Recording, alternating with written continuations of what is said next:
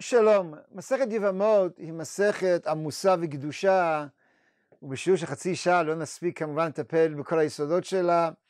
יש כמה וכמה נושאים עקרוניים שאני uh, שם בצד ובכלל לא נכנס uh, לדון בהם, כגון היחס בין הקמת השם וההולדה לבין המצווה עצמה, כגון מעמד הערווה ומה מתיר פה איסור ערווה.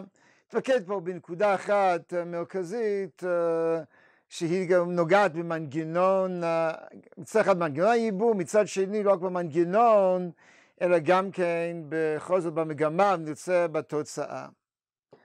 וכן, אני רוצה להתמקד בעצם בשני מושגים. מושג אחד בית ומושג שני זיקה. המושג הזיקה הוא מושג מרכזי במסכת כמובן, בעיקרון נוגע לפרקים השני והשלישי, שם עיקר הדיון בו, אבל בעצם השאלות שהוא מעלה מתחילות כבר מההתחלה. יש בגמרא מחלוקת אם יש זיקה או אין זיקה. וכאמור, מי שהגיע לפרק השני ולאחר מכן התחילת הפרק השלישי, יפגוש את הדיון הזה בהרחבה וכן בעוד כמה מקומות. כמובן שבמה היא זקוקה, דהיינו צריך לקיים מצוות ייבום. שזקוקים לקיים את המצווה זה ברור לחלוטין. השאלה מה אם יש או אין זיקה היא בעצם עוסקת בנושא אחר. וזה טיב מערכת היחסים שביניהם בתקופת הביניים. כאילו מה מעמד שאומרת היוון בטרם הייבום מתקיים. דהיינו אחרי המיטה או הנפילה בשון הסוגיות לבין הכניסה, הייבום עצמו מה מעמדה? אני מדבר כרגע מדאורייתא, אינני נכנס לדרבננים של מאמר והמערכת מדרבנן. וכאן הגמרא מביאה שתי דעות, דעה אחת שיש זיקה, דעה שנייה שאין זיקה. מה זאת אומרת יש או אין זיקה? זה השאלה מה טיב היחסים כמו בתקופה הזאת. זה מתרגם בעצם לשלושה מהלכים מרכזיים. א', מעמדה, מעמד האישה עצמה בתקופה הזאת, האם הבעל מפר את הנדרים שלה, האם אוכלת בתרומה וכדומה. שנית, האם הקרובות שלה נאסרות או מותרות ליוון בתקופה הזאת, זאת אומרת, האם זה יוצר בעיה של צרת ערווה וישראל עריות או לא. וג', האם ניתן להסתמך על הזיקה בתור חלק מתהליך הייבום קידושין. מה שמופיע בעיקר בפרק השלישי, אם המאמר יושב כבר על התשתית של הזיקה. ב... עכשיו, כדי להסביר זאת, אז בואו נסיב קודם כל שאלה אחת. הגמרא אומרת מפורשות שהזיקה, דהיינו שיש מערכת יחסים ביניהם בתקופת הביניים, זיקת דרבנן. זה סוגיה בפרק, הפרק השלישי, דף כ"ז עמוד ב', שם כתוב שחוק בלבן שזיקת דרבנן, הדבר הזה מתנגש לכאורה חזיתית עם דעה בגמרא במסכת נדרים, דף ע"ג, שהיוון יכול להפר את נדרי אשתו, שפט נדרי מדאורייתא, גם דעות בראשונים שסבורים ששומרת יוון מדאורייתא אוכלת בתרומה, גם כן אותה שאלה, הרי אם זיקה דרבנן, איך היא אוכלת בתרומה בינתיים? מסביב לזה ראשונים מתלבטים, האם יש, ייתכן בכל זאת, מאן דאמר זיקה דאורייתא, הרמב"ם בדף כ"ז, התוספות, אני כרגע לא נכנס כאמור לפרטי הפרטים, אלא מסתכל במבט מלמעלה. שנית, כפי שאמרתי קודם, הגמרא דנה האם נוצרים איסורי עריות בין הקרובים, ש... האישה שמועמדת לייבום, שאומרת היבם או הזקוקה, האם הקרובות שלה נחשבות כערווה לגבי הבעל שלה. ב... עכשיו, הגמרא כמו דנה בכך, תוך כדי זה מביאה את שיטתו של רבי שמעון, והיא אומרת שם זיקה ככנוסה. וכאן, שוב פעם, עכשיו אני אציב שאלה נוספת, מה משהו לעניין זיקה ככנוסה? העברית אני מבין, העברית אומרת שזה נחשב כאישה נשואה. זה קצת מטמיע. כדי להגיע למה שהגמרא מעוניינת שם, דהיינו שנוצרים ישראל עריות, די בקידושין. הם צריכים לומר זיקה כקידושין. הגמרא מרחיקה לכת ואומרת שזיקה ככנוסה. זה יוצר מצב של נישואין. וכבר השאלה, מה זה נישואין? הרי היא לא נישואין, הוא צריך לייבם אותה. מה המשמעות של לומר שבתקופת הביניים הזאת יש נישואין? לומר שיש קידושין מובן. קידושין זה איזושהי זיקה משפטית, אין חיי אישות, אז כמו שאישה מקודשת, היא לא חיה עם בעלה, ויש כל מיני דינים שלא נוגעים אליה, אותו דבר גם אישה זקוקה. אבל לומר שזיקה ככנוסה, כנישואין, זה מאוד בעייתי, כי זה לא כך. כדי להסביר את כל הסיפור הזה, אני רוצה לגעת פה ביסודות היותר בסיסיים של, של מסכת. הוא בעצם מתייחס לשתי נקודות. נקודה אחת היא שאלה יסודית ביותר, אם כי היא לא באמת קושייה, היא שאלה חשובה. וזו שאלה שעולה מדיון, בעיקר מסכת קידושין דווקא, בדף ד' עמוד ב', היא גם קצת עולה, היא בתשתית הסוגיות, היא בין השורות, היא אף פעם לא על השולחן ממש, קצת דף י"ג למשל. על כל פנים, השאלה פשוטה. מדוע אישה רגילה צריכה גם קידושין וגם נישואין? אני צריך שני שלבים בשביל ליצור אישות, ולעומת זאת, יבמה אני מסתפק בייבום כשלעצמו. דהיינו, בעצם קופצים פה השלב, מגיעים לאישות מבלי הקניין המקדים. הגמרא בקידושין, כמו שואלת את זה בדרך אגב, או אם היא רוצה ללמוד דיני קידושין מייבום, בצורה יותר ממוקדת, שהיא רוצה ללמוד קידושי ביאה מייבום, אבל כך היא עונה, מה לי ומה שכן זקוקה ועומדת. דהיינו, המציאות שונה כי יש שם את הזיקה. עכשיו, מדוע באמת מסתפקים ביבמה בנישואין בלבד? דהיינו, שיש ביאה ותו לא, ולא צריך כמו איזה קניין מקדים. אז uh, יש uh, כמה הסברים שם בראשונים בקידושין. רש"י ממקד את זה בכך שאח קידש. זה חלק מרעיון שרש"י מפעיל בכמה מקומות. לדידו של רש"י יש קידושין. זה לא שאין קידושין. צריך גם במקרה הזה, אומרת, אם שמעון מייבם את אשת אחיו ראובן, אני צריך קידושין, בטח, כדי שלאה תהיה אשתו של שמעון, אני חייב שיהיו קידושין. אלא הקידושים במקרה הזה כבר נעשו. מסתמכים על קידושי האח הראשון. זו, אה, זה מה שאומר שם רש"י, וגם דרך בתוספות שמה. הארי בתוספות מדבר על הקמת שם. שבעצם הניס, הייבום נועד למטרה אחרת לגמרי. לא נול, זה לא בא לעולם למטרת אישות, אלא למטרת הולדה, ממילא הכל מסתובב בעצם מסביב יחסי האישות שבין הבעל לאישה, כי זה מצווה להוליד. מייל, מה שהראש מסביר, שלכל אדם הקידושין זה רק דת הראש, רק דרך להגיע מצד פרייה וריביה, אז דת התוספות זה המצב בייבום. אנחנו מעוניינים uh, להגיע לפרייה וריביה, ולכן לא בונים מערך של אישות. בסופו של דבר יש דיני אישות, הם, הם מגיעים ב... כתוצאה מהעובדה שהם חיים ביחד כדי להוליד. יש אבל, uh, עכשיו ניתן לחשוב בכיוון נוסף. וזה קשור יותר לעולם הקידושין, ויותר מסכת קידושין, אציג את זה בקיצור, כי זה בכל זאת מסביר מה הזיקה עושה, ולאחר מכן נעבור לנקודה המהותית השנייה.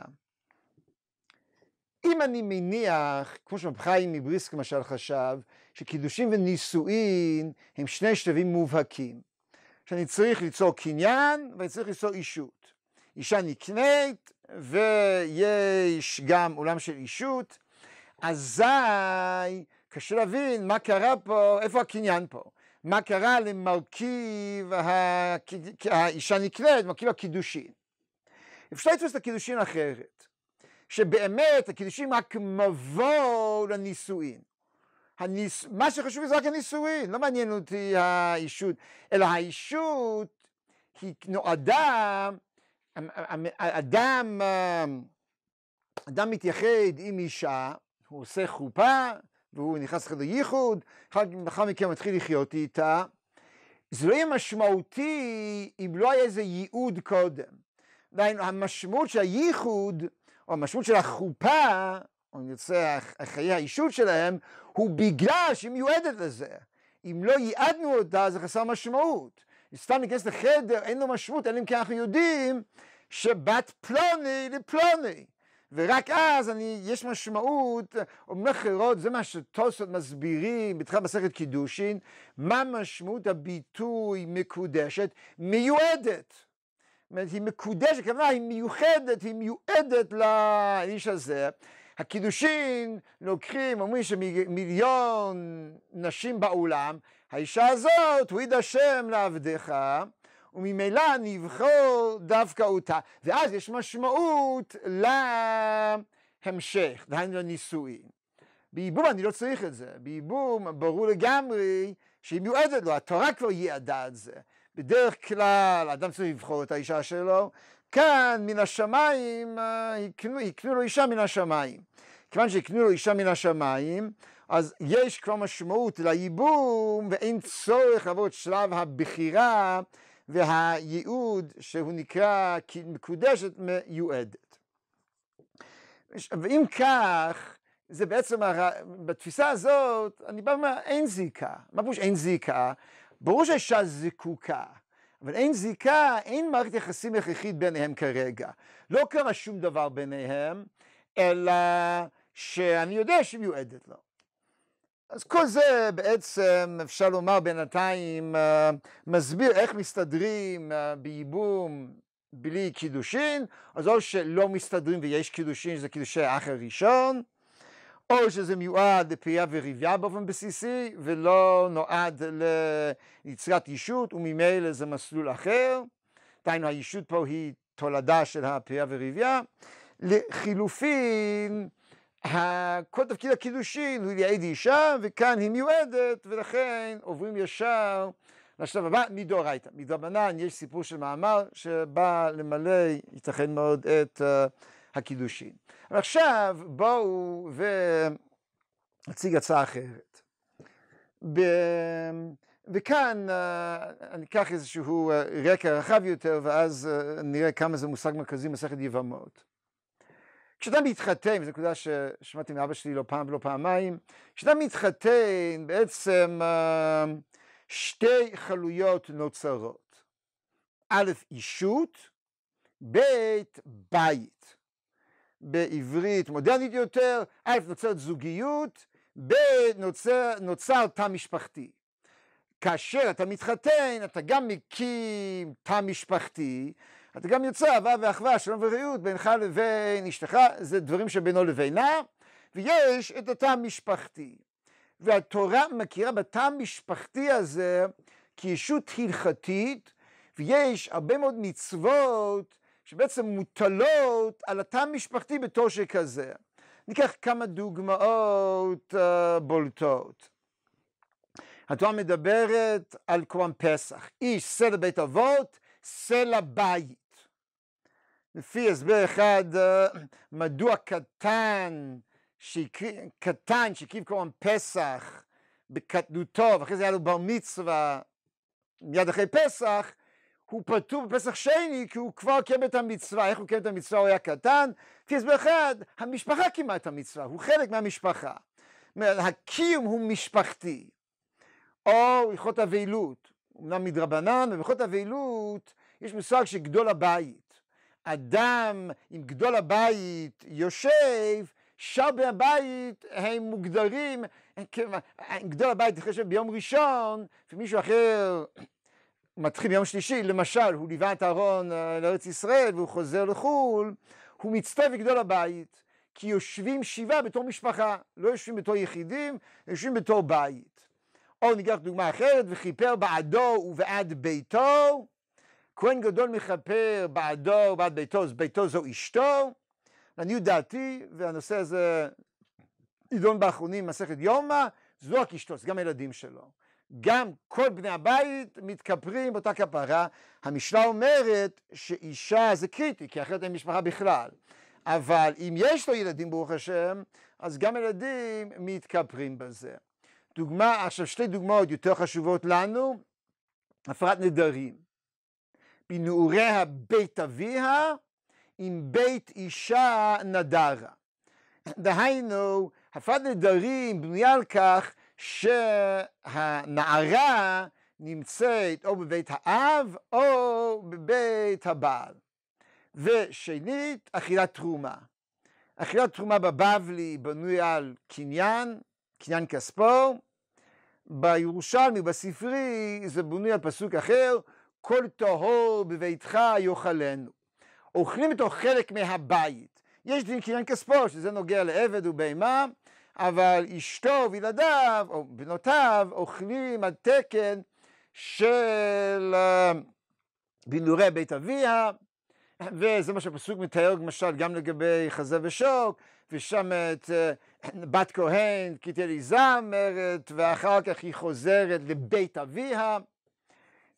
אותו דבר יש לנו גם uh, לזנות בית אביה, שהיא נזכרת בפתח בית, ה... בית אביה, וכולי. בכל המקומות הללו בעצם ההלכה מכירה במושג הבית. עכשיו, אה, בסופו של דבר זה מתרגם גם לתהליך הנישואין. זה בשני דברים. סוגיה שלמה וחשובה במסכת כתובות, דף מ"ז, מ"ח, מדברת על מסר האב לשלוחי הבעל. דברים מסוימים מנשואה, למרכיבים מסוימים כבר ממסר האב, לפני החופה. מרגע שמסר האב לשלוחי הבעל. דהיינו, זה הכניסה לבית. החופה זה האישות, ולעומת זאת, הדברים הללו, ויש שם דעות שונות, ירושה, אכילת תרומה ו- וכן הלאה, הדברים הללו מתחילים מהבית ולא מהאישות. ולכן, כבר מסר בשכי הבא, מדובר בדינים דאורייתא, היא מוגדרת כחלק מבית בעלה. המחלוקת בין הר"ן לרמב"ם, מה זה חופה? לפי הרמב"ם חופה שמתייחדים ביחד, וצריך להיות חופה ייחוד הראוי לביאה. לדעת הרמב"ם, תפקיד החופה ליצור אישות. וממילא חופת נידה לדעתו פסולה, כי זה לא ייחוד הראוי לביאה. דת הר"ן, שהוא חולק על הרמב"ם בכתובות דף ב' עמוד א', הוא מסביר שחופה זה כניסה לבית.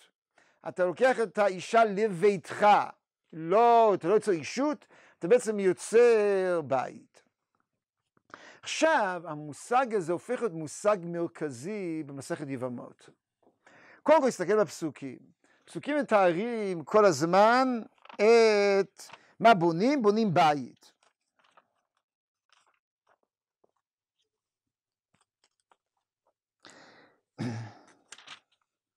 כי ישבו אחים יחדיו ומת אחד מהם וכולי.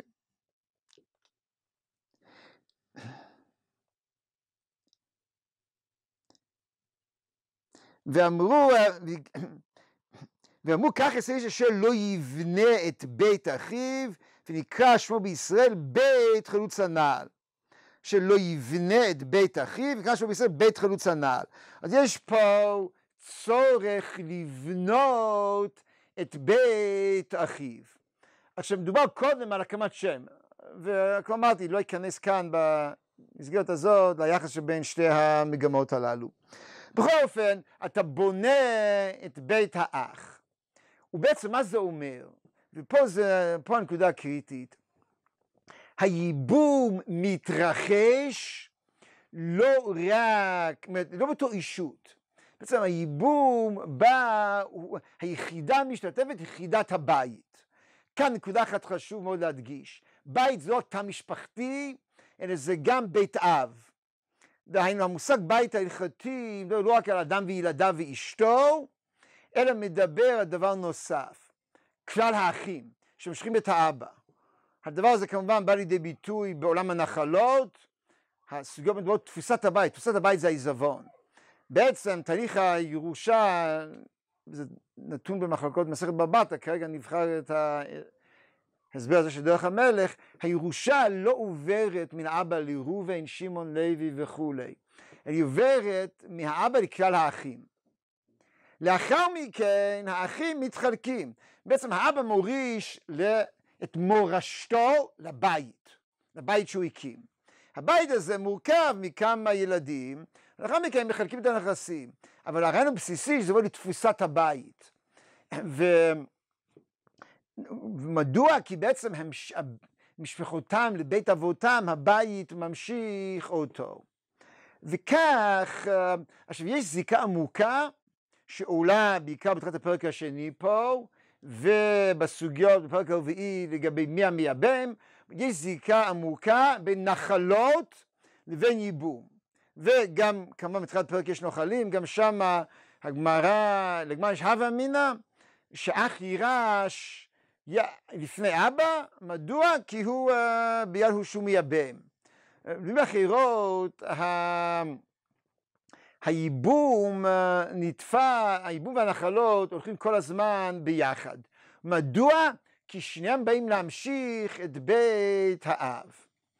עכשיו, אה, כמו שבירושה הנכסים עוברים מן האבא לעיזבון, לבית, ורק אחר כך מתפרטים לילדים, אותו הכל גם בייבום. הדין הדין הבסיסי, וזה סוגיית דף י', שאח אחד מייבם, היא מותרת לכל האחים. אח אחד חולץ, היא מותרת לכל ה... היא מותרת לכל העולם, כבר, סליחה, אח אחד מייבם, היא... היא לא מותרת לכל האחים, סליחה, אח אחד מייבם, נשים אחרות נפטרות, והאיסור על השאר האחים הוא איסור לאו, לפי רבי יוחנן. באותו דבר, אח אחד חולץ, היא מותרת לכל העולם, לא צריך חליצה מכל האחים, לא צריך ייבום מכל האחים. ייבום מאח אחד, חליצה מאח אחד, לכל הנשים ולכל האחים. הוא דעתו של רבי יוחנן, וזו מחלוקת עקרונית שם בין רבי יוחנן לשלקיש, דעתו של רבי יוחנן זה מתייחס לכולם. בלשון הסוגיה שמה,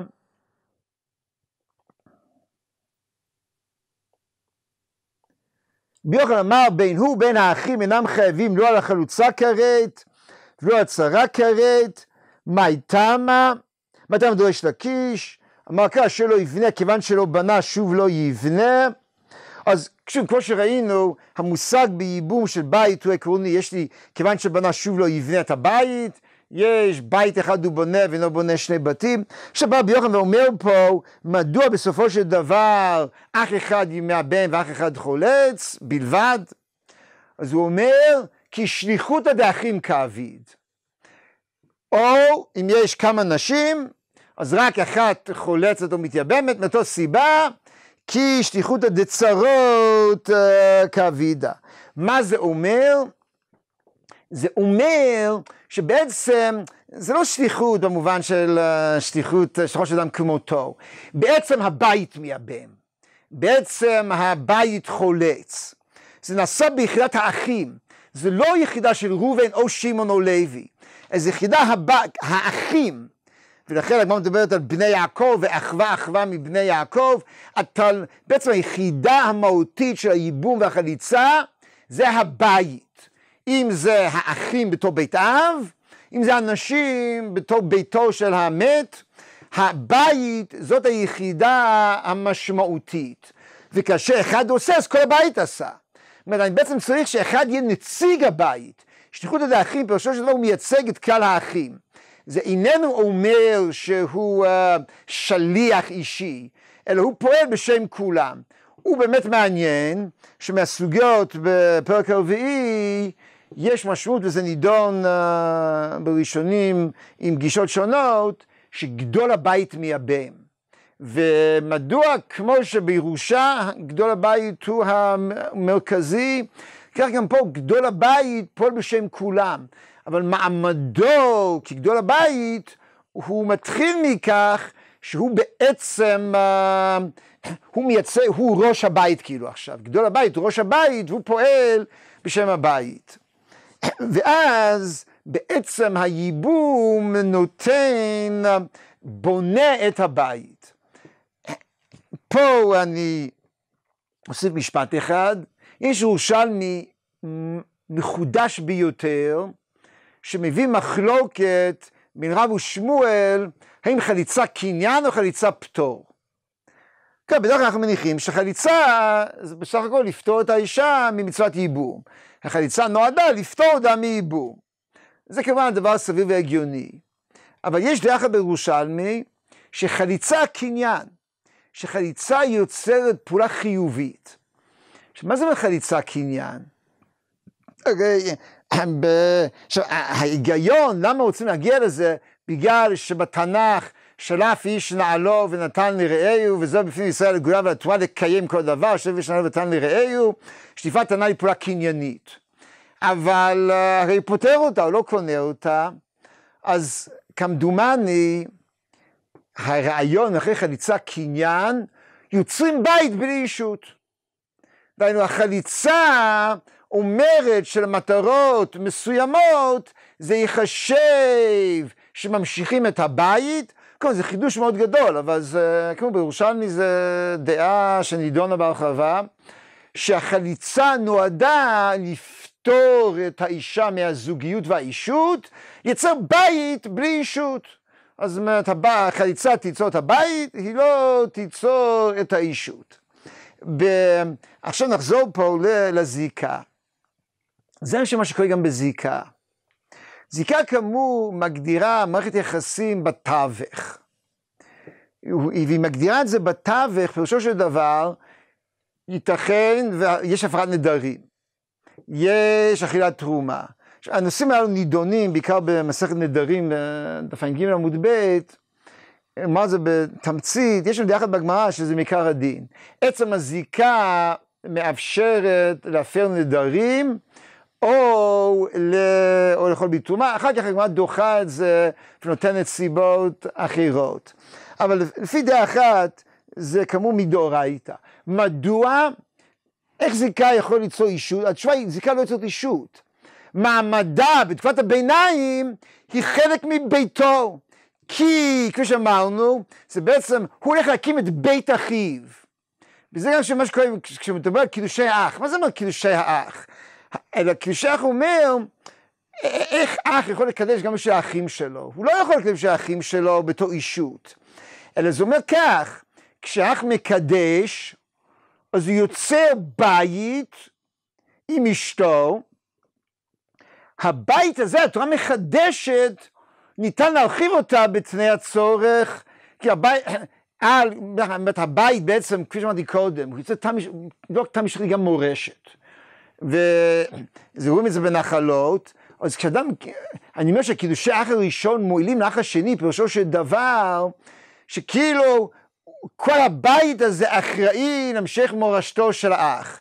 כמו שהוא אחראי על הנחלה, הוא אחראי על המשך מורשתו, ובמשמעות הזאת שהאישות תביא לידי, באומה הזאת שיצאת בית שממשיך לדור הבא, או שממשיך את המורשת שלו, זה מתקיים, וזה מה שקורה בזיקה. זיקה יוצרת מערכת יחסים של בית, לא מערכת יחסים של אישות. וממילא דברים שקשורים בבית, כגון הפרעת נדרים, כגון אכילת תרומה, יש מה לדבר בגלל הזיקה. עכשיו, אין מה לדבר מצד האישות. וכאן, אני חושב גם הפתרון, מה ששאלנו בהתחלה, או הצבענו על זה שראשונים שואלים, אם זיקת דרבנן זיקה דאורייתא. זיקת דרבנן מופיע בסוגיות לגבי הצורך, לגבי איסורי הקרובים. איסורי הקרובים נובעים בעצם מהאישות. ולשם כך זה באמת לא יכול להיות דאורייתא. כי מדאורייתא רק או קידושין או, או, או, או נישואין. לעומת זאת, הפרעת נדרים שאומרת שזיקה דאורייתא, נכון, מה שקשור לבית, יצירת איזשהו תא משפחתי, איזשהו בית, במערכות כפולות, זה יכול להתקיים uh, מדאורייתא, כי כאמור מדאורייתא אנחנו מכירים ב, בשלבים הללו. לעומת זאת, מה שקשור כאמור לנישואי ערווה וכדומה, שם אומרים זיקת רבנן, כי זה לא קשור לבית, זה קשור באמת לאישות, ובינתיים אין אישות uh, מספקת. עכשיו אם אני חוזר לשעת הקידוש, מה קרה לקידושין פה, אז כאן אה, אני נשאל בעצם קצת גם מה מטרת הקידושין. במידה וקידושין באים ליצור קניין, הזיקה אולי יותר בעייתית. אז צריכים לחזור לתשובות שדיברנו קודם. במידה וחושבים שהקידושים יוצרים איזושהי זיקה ביניהם, איזשהו, אה, איזשהו מערכת יחסים ביניהם, שאז יש יותר מקום גם לראות את הזיקה עצמה, בגלל מה שהיא יוצרת כתחליף קידושין. אבל כאמור, הזיקה היא בעצם, היא באה, יוצרת מעמד של בית ולא מעמד אה, של קניין או של, אה, או של אישות. ובעולם הייבום, זה נקודה קרדינלית. עכשיו, מה ההבדל בין ייבום לחליצה? אם נניח שחליצה קניין, ההבדל הוא שבייבום יוצרים בית עד הסוף, כולל האישות. זה מתחיל באמת, זה מתחיל מהזיקה. דהיינו, ברגע שאח מת ואשתו נופלת לפני היוון, כבר יש בית משותף לאחים ולאח הנפטר, והם צריכים, עכשיו, זה, מה דבר יש זיקה כבר מעכשיו, הבית הזה משמעותי, מה דבר אין זיקה עדיין לא, אבל זה מה שהם מחויבים לעשות. עכשיו, המד אמר שחליצה קניין, אז מה שהיה בנפילה זה מה שימשיך עד, עד החליצה, החליצה תיצור את זה ו... לעומת זאת, ייבום זה ירחיב את הבית, זה כבר לא יהיה רק נכסים, זה כבר יהיה בית, גם ההולדה, גם האישה תפך להיות גם אשתו של השני, הוא יקים את בית אחיו. האישות תהיה של החדש. האישות שתיווצר תהיה של שמעון כמובן, אבל הבית שייווצר ייחשב כהמשך ביתו של ראובן. זה, זה, זה כמו לומר, אה, אדם מתחתן אה, עם אלמנה, אז ברור שהאישות היא לגמרי של הבעל והאישה. ואף בכן ניתן בצורה מסוימת להמשיך את המורשת של הבעל הקודם, זה מה שקורה פה, ממשיכים את המורשת שלו, ממשיכים את היותו הבית, לא האישות, אבל הבית הוא עדיין, אה, והילד שייוולד ישקף גם את זה, אז ייבום לוקח את העניין הזה של בית בצורה יותר עמוקה, אבל מה זה מחליצה קניין הוא בעצם כבר קיים שמה, וכבר בזיקה נוצרת בית. טוב, עד כאן העיקרון הזה, כאמור יש במסכת יבמות עוד עקרונות אחרים, וזה בשביל שירים אחרים ודוברים אחרים. תודה רבה.